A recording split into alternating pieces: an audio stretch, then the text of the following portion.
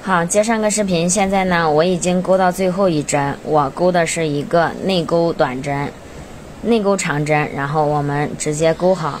钩好之后呢，我们跟第一个外钩长针这个立柱上面的横线这里，辫子针，在这里给它引拔。引拔好之后呢，我们立三个辫子针，开始要钩第三圈了。第三圈呢就比较简单了。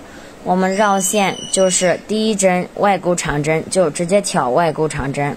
这个外钩长针比较好挑，就在这个空隙里面挑。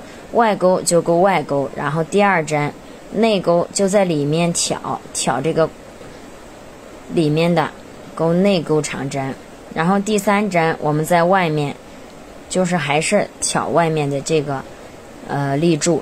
钩外钩长针，我给大家看一下，它形成的这个花纹，这个就比较明显。第这一针是外钩，然后里面的这个针也是在里面鼓起来的，就是这样的。我们直接就在这个空大的空隙里面挑就好了。这一圈就比较简单，然后就是对应着勾，内勾勾内勾，外勾就勾外勾。这个是第三圈，然后我们第四圈也是用同样的方法，把它给它。嗯，钩好钩内钩长针和外钩长针，第四圈钩完之后，我们再来讲这个花边儿，这个花边儿的钩法，大家自己动手把这个这两圈给它钩好吧，我就不带着大家钩了。下个视频我们再来讲这个花边的钩法。